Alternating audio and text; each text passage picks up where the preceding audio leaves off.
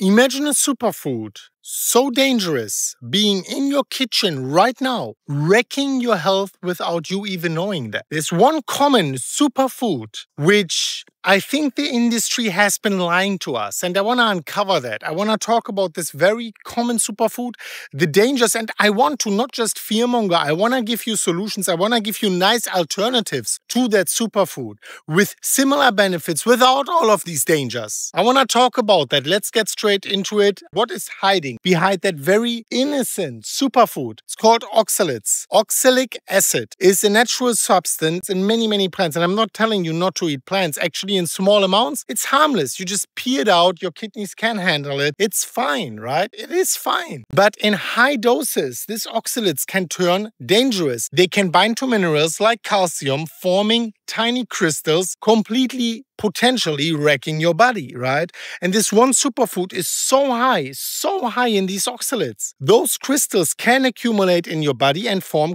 kidney stones, one of the most excruciating experiences you can imagine. Even worse, too much oxalates can poison your kidneys. Actually, in one very extreme case, a 68 year old man, he went on a daily juice diet with that green vegetable. And you, you might think, okay, that's a great thing. That sounds so healthy.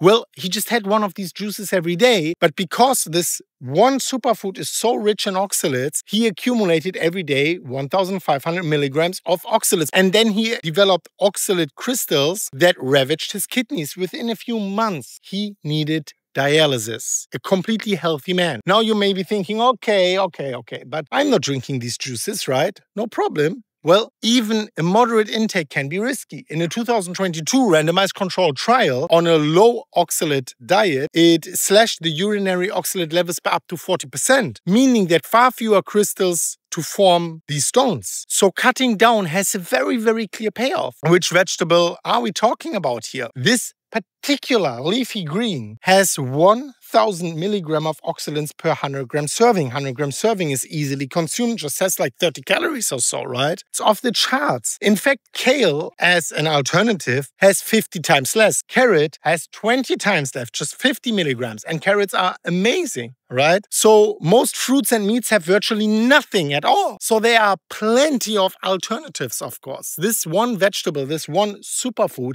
is a league of its own. It's a heavyweight in oxalates. So it's time to reveal it, of course. This dangerous vegetable is spinach. Maybe you're surprised, right? Don't get me wrong. Spinach is nice in many other regards. It's nutritious. It has a lot of iron. It's quite high in some nutrients compared to the calories you are consuming. So that is great, but it's so sky high in oxalates that it's actually a real concern. So if you're prone to kidney stones, if you're consuming that more often, this is definitely something to consider, ladies and gentlemen. This is a habit to rethink and to think about maybe I should go for other alternatives. If I want leafy greens, I take kale. If I want other vegetables, I do something like zucchini or carrots, right? Just something to think about. Let me know what you think about that. And of course, do not miss out on this video here about olive oil, which is very important to watch and subscribe to the channel right now. And as always, guys, as always, bye bye.